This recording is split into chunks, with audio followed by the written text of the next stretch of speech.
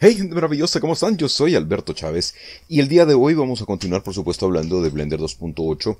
Eh, vamos a concentrarnos todavía en la parte del viewport de todo lo que vemos aquí en el espacio de trabajo. Eh, mis disculpas de antemano en caso de que usted esté escuchando un poco de golpe a la hora de la grabación. Esto es un problema con el micrófono que tengo que resolver algún día, pero pues vamos, eh, hago lo mejor que puedo, se lo prometo. En fin, les decía, aquí está nuestro, nuestra área de trabajo, todo esto que vemos acá. Y hay eh, cuatro iconitos que le quiero mostrar el día de hoy. Bueno, no solamente los iconitos, pero mayormente le quiero mostrar estos cuatro iconitos porque son, eh, digamos que es una, eh, la abreviación de una tarea a través de iconos en la pantalla. Son los iconos que están aquí arriba, estos cuatro que usted ve aquí. Bien, ¿de qué van los iconos? Primero, ok, si usted se recuerda, bueno, en el en el video pasado yo le decía la cuestión de los modos de cámara se mantiene. Por ejemplo, el 0 para la vista de cámara, el 5 para cambiar de vista de perspectiva a ortográfica, etcétera, etcétera, ¿no?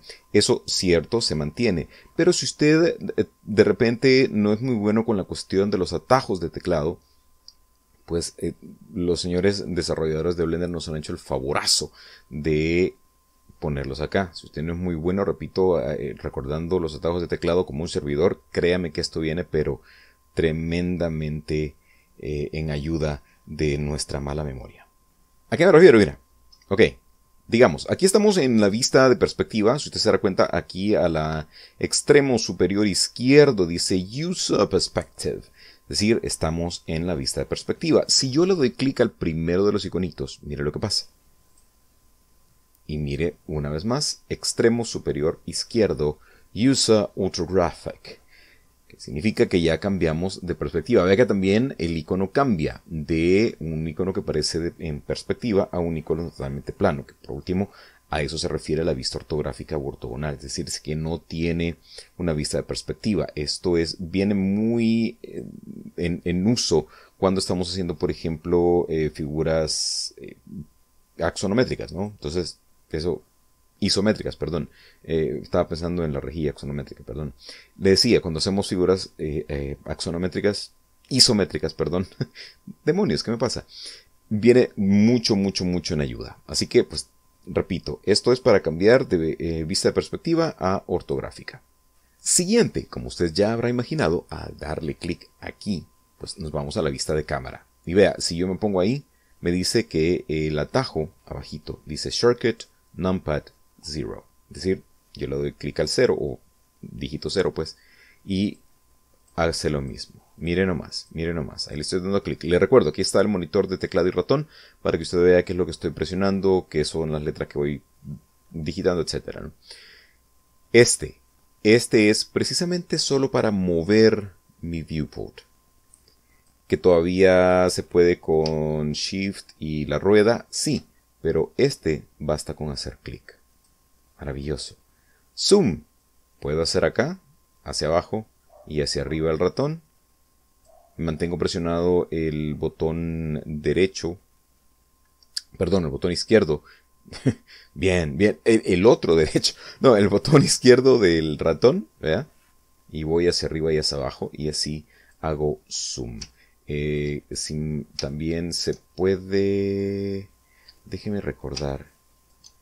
No me recuerdo con cuál. Ah, ok, ok. Con control y la rueda central del, ratón. Pasa que eh, eh, eso usualmente no lo utilizaba yo, así que pues vamos. Por eso es. Que no lo tenía muy en mente. Así que de eso van esos cuatro eh, botoncitos que tenemos ahí. ¿De acuerdo? Tan fácil como eso. Y déjeme ahora acercarme otro poquito. Ahí. Bien, lo último que vamos a ver ahora, solo déjenme ver qué tanto llevo de grabación.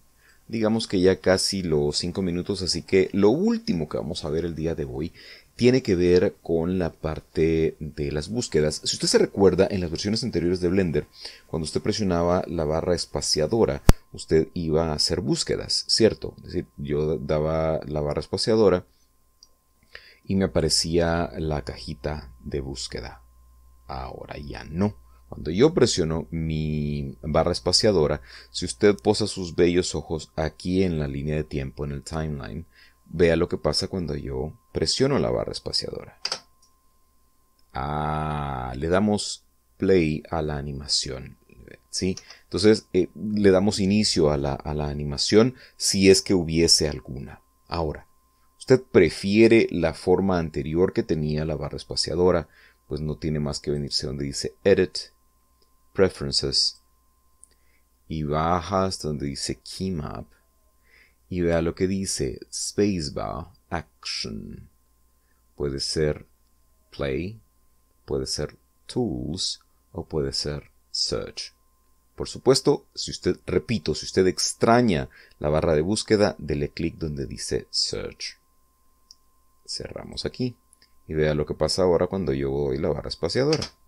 Ah, aquí tenemos toda la barra de búsqueda y yo puedo, por ejemplo, decir ah, monkey, que viene a ser add monkey.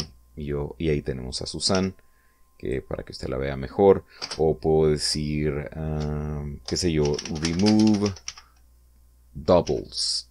Ah, claro, pero aquí tiene que estar en, en, modo edición.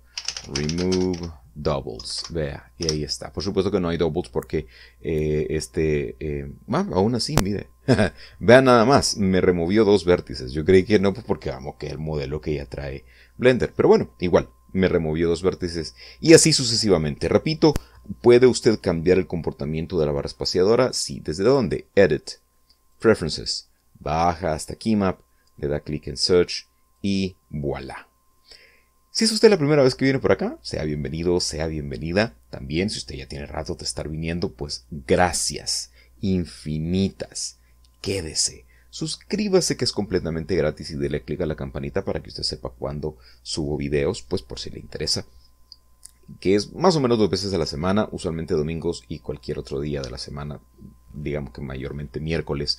Los domingos estamos haciendo una serie de creando un juego desde cero y pues los miércoles hacemos los consejos rápidos sobre casi que cualquier tema.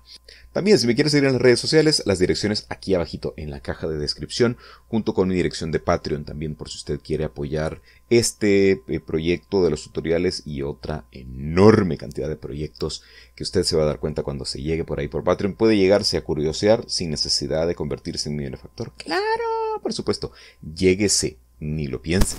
Pues, para que vea usted todo lo que tengo ahí andando para arriba y para abajo. Eh, finalmente le dejo también dos links, uno de, eh, de, compra hacia mi primer libro, Cuentos desde el desempleo, y el otro pues para lectura de mi libro online totalmente gratis, La redención del olvidado. Nos vemos la próxima, damas y caballeros. Hasta entonces, larga vida al software libre.